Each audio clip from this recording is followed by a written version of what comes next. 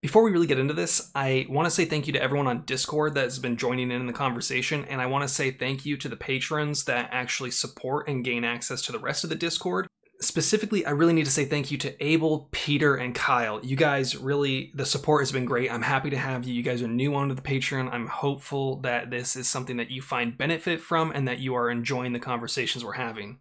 Thank you. I was just about to sit down and record a video talking about Pheng Yang, who I've been informed that the name Fang was the improper pronunciation of it, but Pheng Yang, the man from Tulare County who was issued a felony he was issued, he was booked on felony charges for possession of one 15 round magazine. Even though he claims he acquired them during Freedom Week, I was informed that after going through the process of vetting that the GoFundMe link that I was sent, because there were two, and I had to go through and figure out which one was the right one.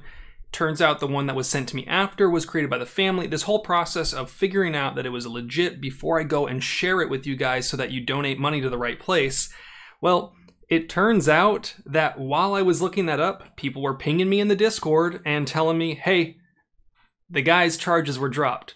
The district attorney of Tulare County went out of his way to file a letter basically saying, let me just read it for you. So while I was going through the process of vetting that information, the Discord was pinging me. People in my Discord channel, which I will leave a link to down below, were pinging me saying, hey, this guy, he got let off. So let me read you the letter that was from Eric Scheister from Daniel Underwood, the chief district attorney in Tulare County. He said, Dear Sir, please let this letter serve to inform you that the Office of the District Attorney will not be filing a criminal information in the People versus Pheng Yang in Tulare County Superior Court.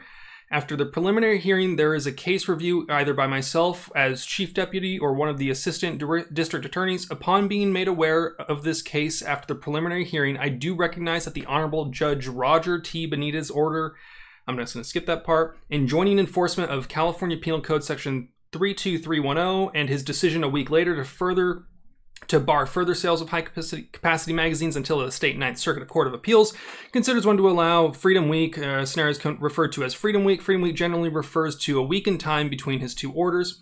When questioned, Mr. Yang responded that he purchased his magazines during Freedom Week in a private transaction between unknown individuals. Mr. Yang stated he did not have any proof of purchase, text messages, calls, social media, or contact information from anyone from whom he claimed to have purchased the magazines.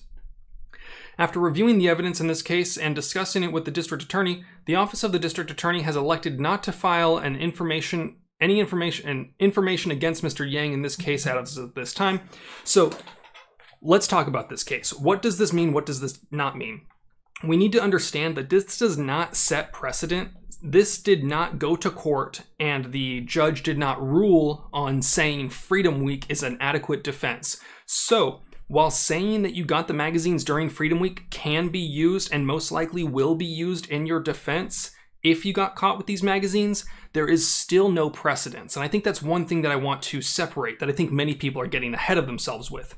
They're looking at this as if saying Freedom Week is a guaranteed win in those court cases.